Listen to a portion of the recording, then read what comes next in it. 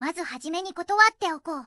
彼女はイエティである。指紋がないことがコンプレックスであり、あえて生体認証を利用している。そのため、はるみの銀行口座は、白い紙1枚かざすだけで全額引き下ろすことが可能である。キノコの山派であるが、理由はキノコが好きだから、もちろん持ち手の部分しか食べない。バストが27、ヒップが6、ウエストは非公開であるアイスバケツチャレンジを何回やっても死なないらしい。死後評価されると考えており、早く評価されるために一旦死んだことがある。ホルマリン漬けになることを恐れておらず、ホルマリン漬けにされるかもしれない会社で働いている。給料が干したバターである。